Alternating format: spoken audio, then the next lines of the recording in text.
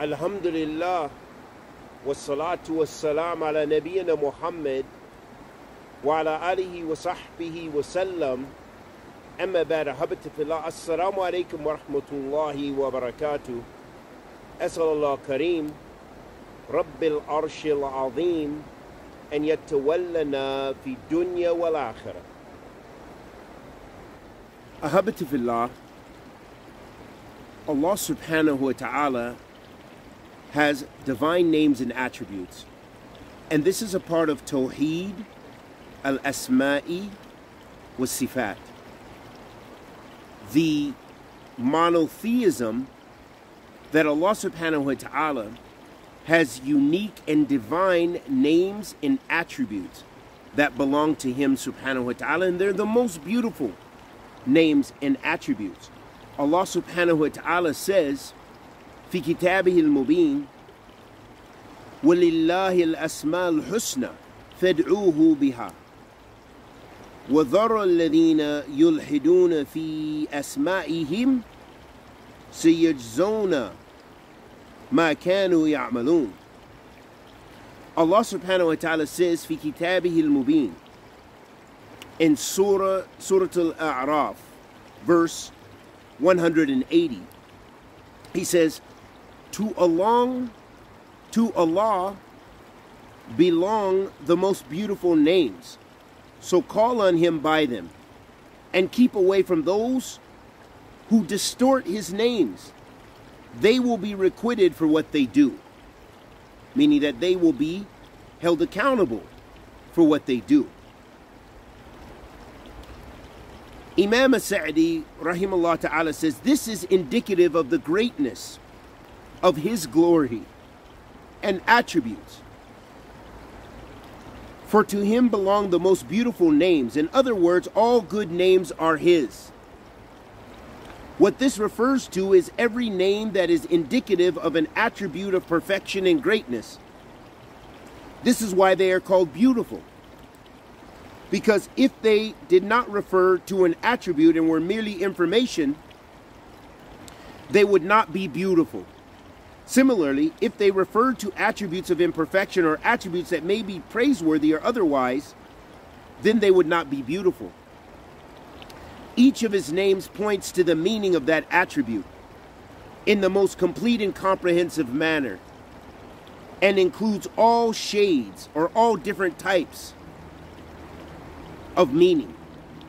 For example, the name Al Alim, the all knowing, this indicates that he has all encompassing knowledge of all things. So nothing, not even the weight of an atom on earth or in heaven, is beyond his knowledge. Or the name Ar Rahim, the most merciful, indicates, or the most beneficent, indicates that he is possessed of great mercy that encompasses all things. So that means Allah subhanahu wa ta'ala, His mercy encompasses everything because He is Ar-Rahim, the most beneficent, and He gives His mercy to everything. The fact that a person even has the choice to be a disbeliever and reject and be arrogant towards Allah subhanahu wa ta'ala and arrogant towards the worship of Allah subhanahu wa ta'ala or to be a hypocrite or to be a believer.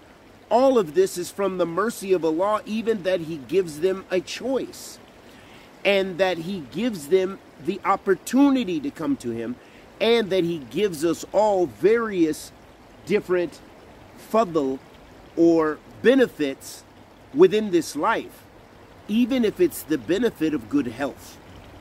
So, this is from the mercy of Allah subhanahu wa ta'ala, or He gives us sustenance or whatever that we need, all the things that we need. The name Al Qadir, the omnipotent, all powerful, indicates that He possesses all encompassing power, and nothing is beyond His power. La hawla wa la quwwata illa billah. Another aspect of the beauty of these names is that He cannot be called except by these names, meaning the names that come in the divine text, in the Nusus, meaning the Quran and the Sunnah of the Prophet sallallahu alaihi wasallam, those are the names of Allah subhanahu wa ta'ala. When we refer to Allah subhanahu wa ta'ala, we should stick and adhere stringently to the book and the sunnah. We should not make up uh, new names for Allah subhanahu wa ta'ala, which we have no authority to do so.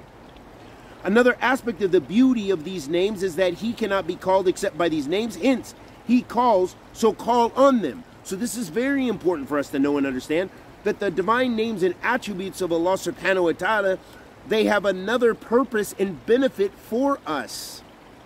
And that is reflected in Tawheed al Ibadah or Tawheed al Uluhiyah, in that we supplicate to Allah subhanahu wa ta'ala by those names, by his, his divine names, and by some of his even his attributes, subhanahu wa ta'ala. And Allah subhanahu wa ta'ala says, Fed'uhu. You know, so call on him by them. This includes the supplication of worship and the supplication of asking. So he is to be called upon for everything that is needed in a manner that is appropriate to the need in question. And so here Imam Sa'di is making an ishara or making a point to the fact that when you are asking for rizq from Allah subhanahu wa ta'ala, you know, it's something that you say ar-razak. You know, Ya Razak, Razakani. Oh, pro, all, the all provider, the sustainer, the, the one who provides everything, who's perfect in his provisions. Please provide for me. You're asking for rizq from Allah subhanahu wa ta'ala. However, if you're asking for hidayah, for guidance, then you'll say Ya, ya al-Hadi is one of the divine names. And so the names, they have a relevance, and that's why it's important for us to have knowledge of Allah subhanahu wa ta'ala's divine names and attributes so we can use the appropriate name to supplicate to Allah for for that for our needs. So for example, you may not supplicate to Allah. I'm not saying it's impermissible, but it, it needs to make some sense. If you want rizq, you don't say Ya al-Hadi. Oh, oh, you know, the, the guider, Ya Munqalib al Qulub, O oh, guider of the hearts, increase my, my rizq. Okay? Instead, it would be more appropriate to say, Ya Razak, you know, increase my rizq.